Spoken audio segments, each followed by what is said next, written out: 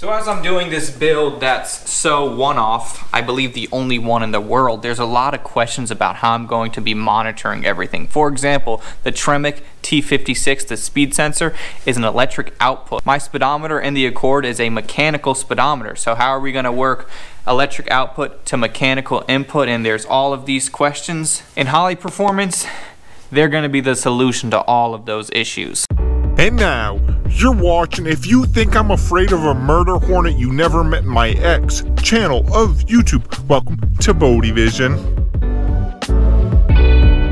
Hey, so what is up and welcome. Thank you so much for joining me on yet another video. So this video, we are going to be focusing on the dash and more specifically, we have let me just open this thing up. So we have right here the Holley 6.8 inch digital dash and this is the Pro model and this is going to be perfect for the car. So just opening the box, we have some directions right here. This is for if you're going to be surface mounting it or flush mounting it.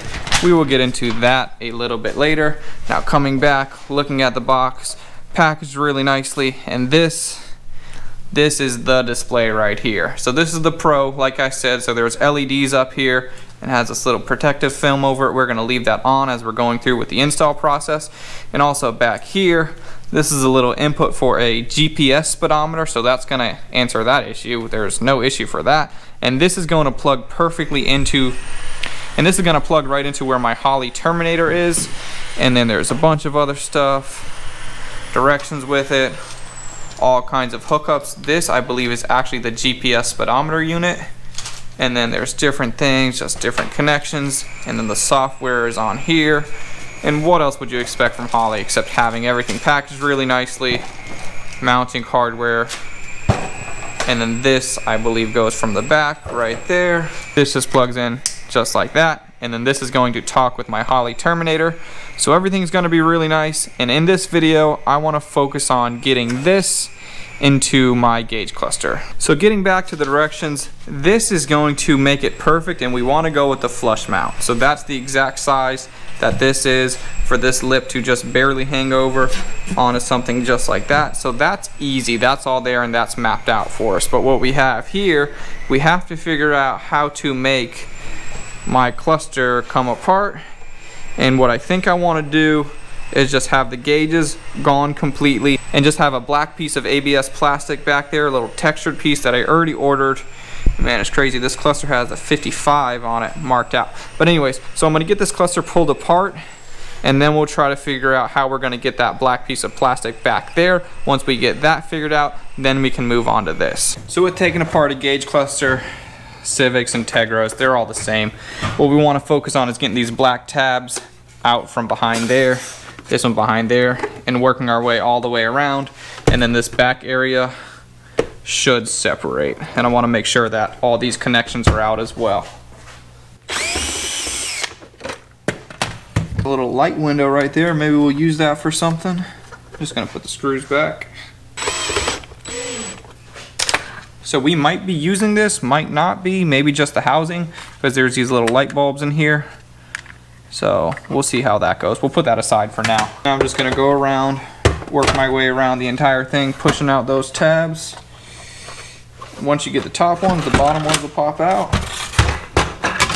That's about it. This piece from the stock cluster, I'll have to put this up in the shop somewhere. Pretty cool. But we're not gonna be using any of this. This is all that I'm after. And if you can see this surface right here, I want to build a piece of plastic that has this perfect size and then I'll just put some through bolts right here that are going to come all the way through and that's going to hold that on. So now we got to get this somehow into there and it's got to be centered because the idea is in the end I want it to look something like this and man that's that's the perfect size I mean that looks that looks phenomenal so now just looking at this this is actually going to be my template so if you can see that fits perfectly in there because it was built for it obviously so we want to use this outer edge and transfer it onto here and this is actually the black plastic that I bought. It's just textured eighth inch. And if I think that eighth inch is a little bit thin, we might reinforce it with something else. But either way, I want you to see this textured side. So I'm gonna go ahead put this tape down so that way it's easier to trace.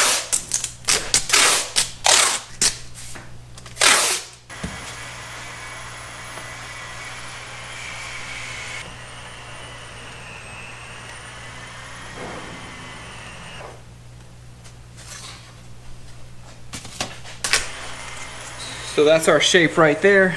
Perfect size for that to fit in there. And then after the fact, we'll throw the template on there and that's that's all we need. And also I might be using this plastic for some other stuff as well. That's why I bought a little bit extra, but this sheet, 20 bucks.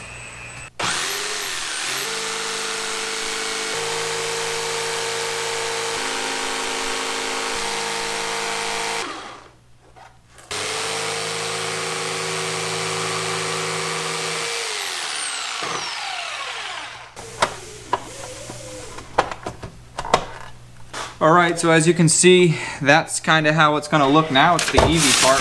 I mean, both of them was really the easy part because we had, this was the template for the outside. This is the template for the actual cluster itself. And that, I mean, nothing's holding it on. I mean, that's a tight fit.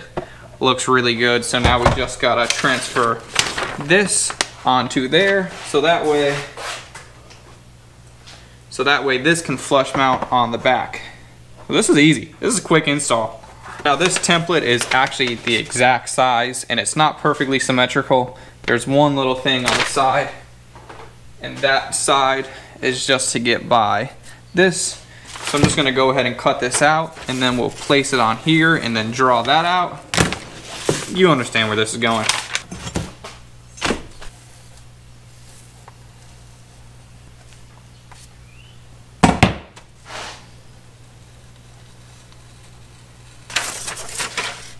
So what I want to do now, since I want to make this centered, I'm going to find the center point of this piece, and then find the center point of this piece, and then get those lined up. And then if I measure from the edge to the outside, then the edge to the outside, those two numbers should be the same. So I'm gonna do that for left and right, and for top to bottom, then we're gonna find the exact center. And then if I wanna move it up a little bit or down a little bit, I can, but either way, I think the most important thing is that it's centered left and right. Because also we have this little piece that I don't think it's gonna affect anything We'll just we'll just have to see. Either way, it's gonna look good. So seven and nine sixteenths, mm -hmm. three and three quarters, and then just go barely a little bit bigger, right? Three and three quarters, and then go a sixteenth more or whatever, right?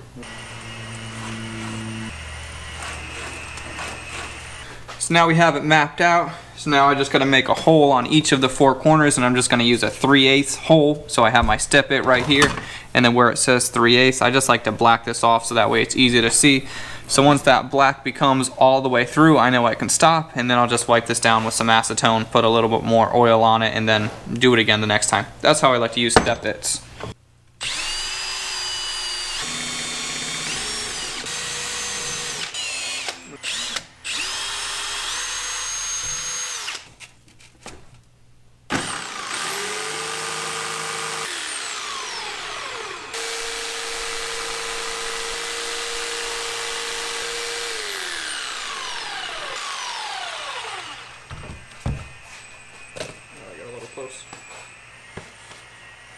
So now the way that this is set up, this will never fall through the back because it's lipped over. So now I gotta make something for the front. So I just got these whipped up. This is just some metal that I had laying around. And what I'm gonna do is it's gonna be something like that. And we also have hardware that was provided by Holley for the kit. So those are gonna go into these holes that's going to be like that. Then we're going to have a 90 off and then another 90 or so over just to kind of keep some pressure on it. So that way this can't go forward or backward. So I'm going to get these bent up, drilled out, and then put on.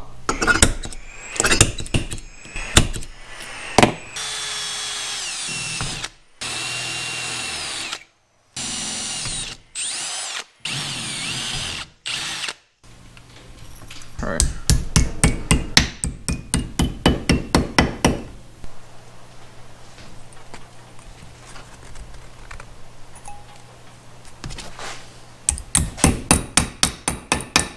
Now that we have all four of these, and like I said, this is just metal that was sitting around real quickly, and I also rounded off the edges a little bit so that way it'd look kind of nice. So if you can see how that looks, and the idea is, if you make them a little bit taller, it's actually gonna tighten down and put tension on there, and that's exactly what we want. And also I made it nice and tight. It's actually tighter than a 90 and a 90, just so that way it can push right on this corner. So those are all gonna be like that. So you get the idea, that all looks good. And you're not gonna see any of that from the front. That's all behind there. So that's gonna be nice. Tension on the front, tension on the back. So before we do that for the final time, I wanna go ahead and put two holes here, two holes there, and then those two holes on each side are gonna go through this. So just one, two, three, four. That's gonna hold this together. So everything is gonna be nice and solid and it's gonna look really good.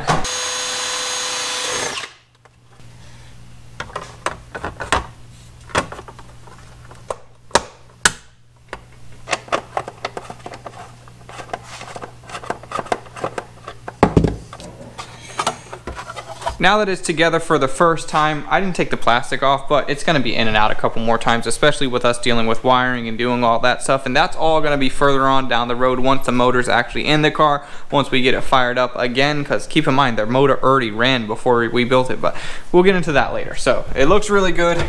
As you can see, super nice, kind of glared out. So what I wanna do now is I wanna actually put this in the dash just to kind of get an idea of how it's going to be. And you got to do little things like this along the way so that way you can keep the end product in mind or that vision in mind.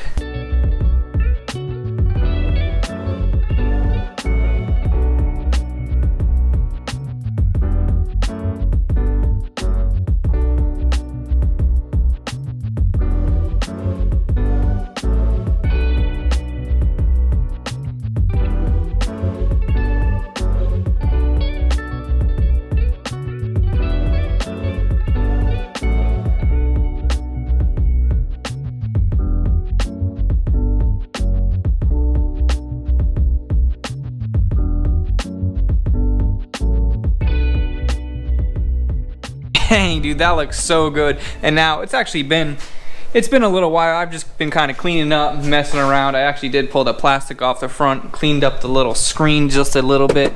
Now I know this is touchscreen. I might get rid of the actual cover or I might just run a mouse off of it because you can put a mouse in the back and then I'll have little mouse down by the shifter or even a smart pad. Well, we can figure all of that out later. Don't worry about that now. Now, it would be a disservice to you watching this video if I didn't at least power the dash up. So what we have right here is I just have a little 12 volt power supply. Just gonna plug that right in.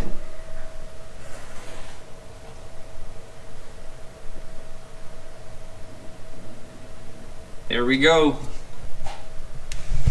Now I know it's hard to see with the way the lighting is and everything, but dude, that looks, that looks phenomenal. Now, I was looking through the directions and talking to Holley about it. There's all kinds of different things that I could do with the dash. There's all kind of parameters that I can set up for different lights to come on. That also has the LED light bar across the top and I think you can set that for RPMs or warning lights or maybe even signals or whatever. You can do all kinds of stuff. And like I mentioned in the beginning of this video, all of these problems that I had or all of these unknowns that I had with the Accord all of these unknowns that I had with the Accord. For example, how am I going to monitor my fuel level? That's that's possible with this unit. You just go ahead in the settings and you create a table and then you just got to sync it together with whatever kind of a sending unit you're using in your fuel tank. So all of that'll be on there. GPS speedometer, everything and I'm using the Holley Terminator and that has the entire wire harness, the entire ECU. So this whole thing by Holley, I'm not going to have any issues whatsoever in install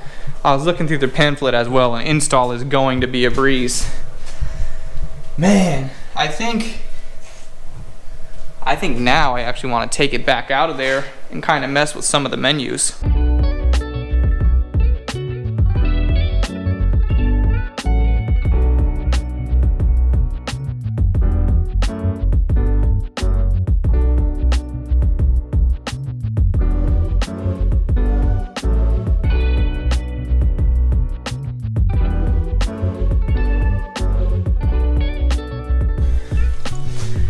Right, so one thing that I do know is I have a lot of messing around to do with that, but it was really cool to get into it, kind of start messing with it, see how I can customize it. Now I have in my mind exactly what I want to do. And one thing that's really cool about the Holley Pro Dash is its capacitive touch, not resistive touch. So it's a really high quality screen. It feels just like your iPhone as opposed to a cheap touch screen that you used to see when you're at the pharmacy or something. It's just overall a high quality piece of equipment. So this install was pretty simple for me and I know it would be simple for you as well with the template that Holley provided and then just using the actual gauge cluster piece as a template. It was very straightforward. I didn't have to do any figuring out at all and it was a good one. Nice relaxing video. Coming up on the car we just have to keep chipping away at it and before we know it this thing is going to be on the road. So huge shout out to Holley Performance for making a quality product helping me out with the build. I really appreciate that. Just making everything plug and play. I mean what more could you ask for?